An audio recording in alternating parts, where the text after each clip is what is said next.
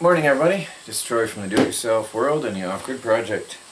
Got a package in the mail I bought with Amazon store credit. Um, anytime I do a product review on Amazon or show anything that I bought on Amazon, I put the links to Amazon and then of course I get some commission if you buy something for yourself on Amazon and you're shopping anyway. I get a little bit of uh, bonus, so that helps us out.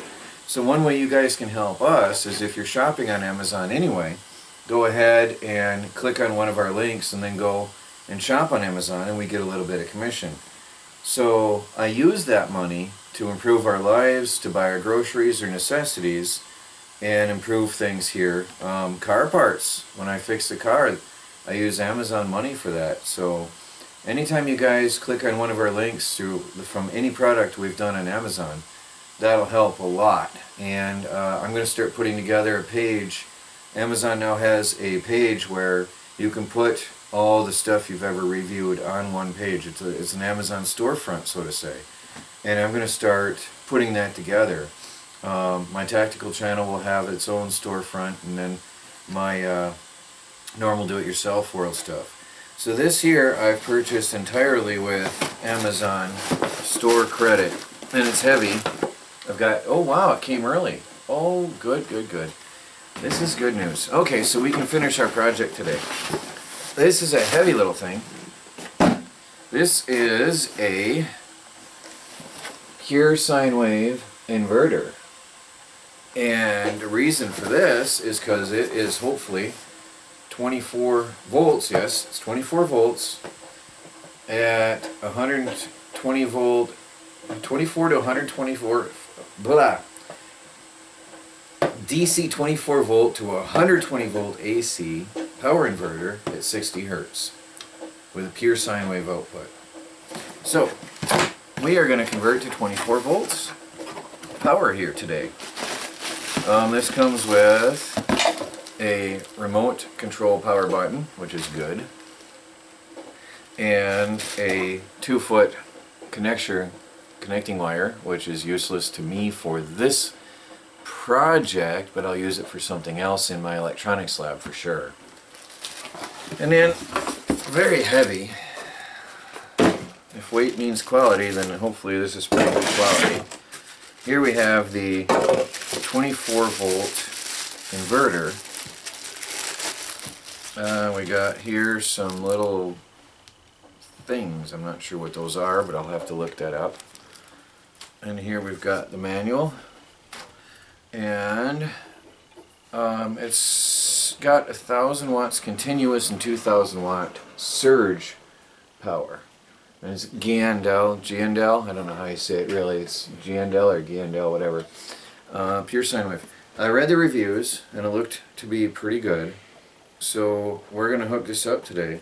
Now one thing cool about this is it has a, um, it's got the remote control button and an on-off button on it and it's also got a USB port so I can charge things outside right off my battery box like if I'm working on the camera and I need to top it off I don't have to come in the house to do it which is very convenient and then it's got the um, 24 volt DC inputs and a grounding plug. I'm going to ground my stuff from now on properly if I can find my grounding rod. I purchased a proper grounding rod for the solar panels and um, it has walked away so I'm not sure where it is but when I find it I will ground my solar panels.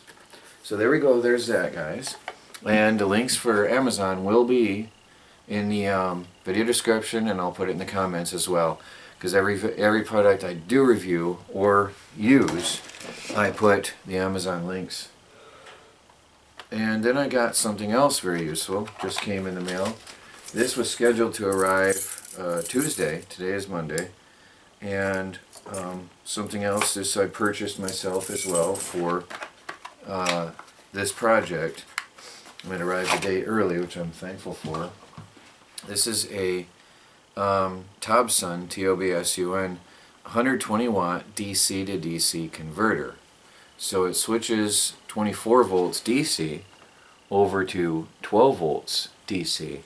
So now, to increase efficiencies, I'm going to run the DC wires from the battery box to the off-grid tiny house right here in the wall.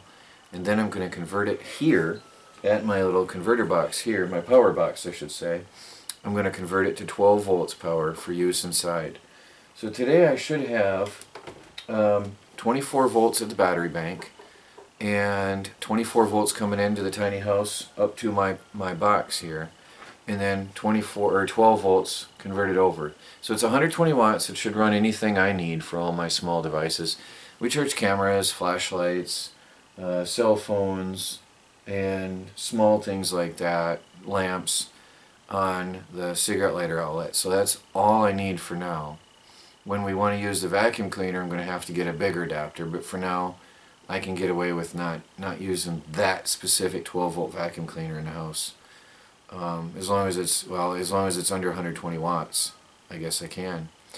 So there we have it, everything we need to switch to 24 volt power today. Now, one of the advantages and I know you guys have been ranting at me for years about this and really telling me to do it. One of the advantages of switching, or some of the advantages, going from the solar panels to the charge controller, less loss in the line. I don't need as thick a wire. When I convert to 24 volts, I need less wires in between all the batteries to connect.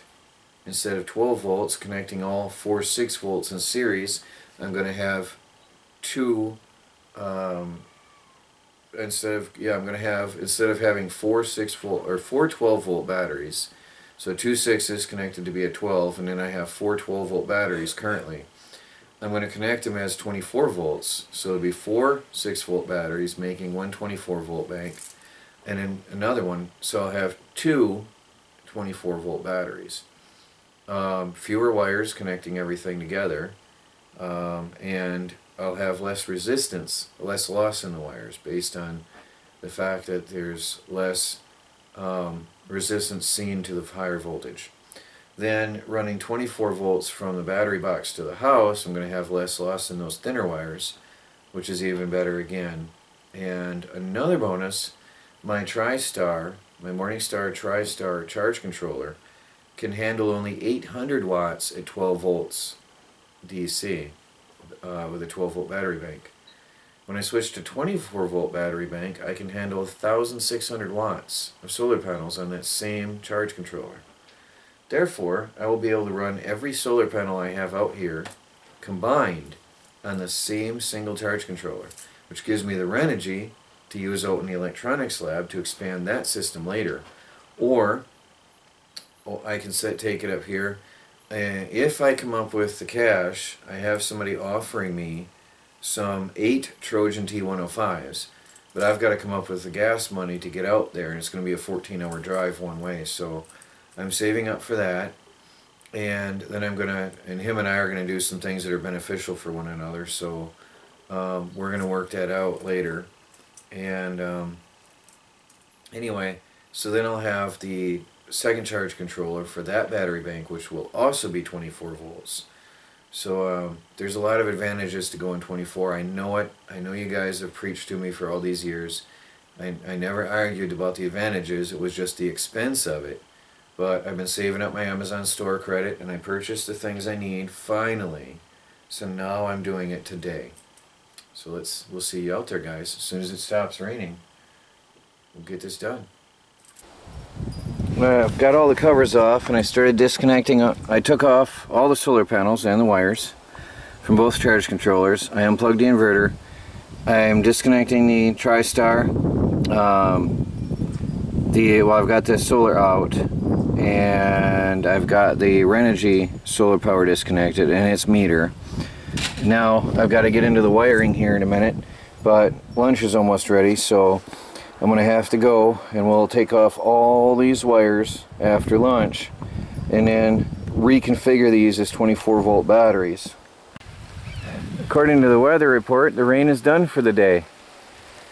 I think they goofed severely. I had to throw a tarp over this because I had it all ripped apart and it's raining.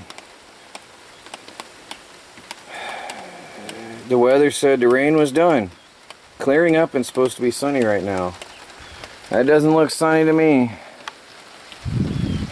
Uh, now I got no power and it's raining on my work.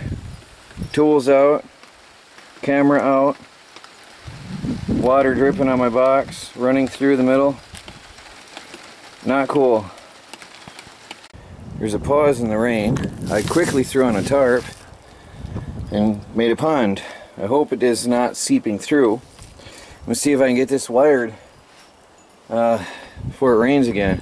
It's 4 o'clock in the afternoon. We've had thunderstorms all day. Uh, the weather app said it wasn't raining.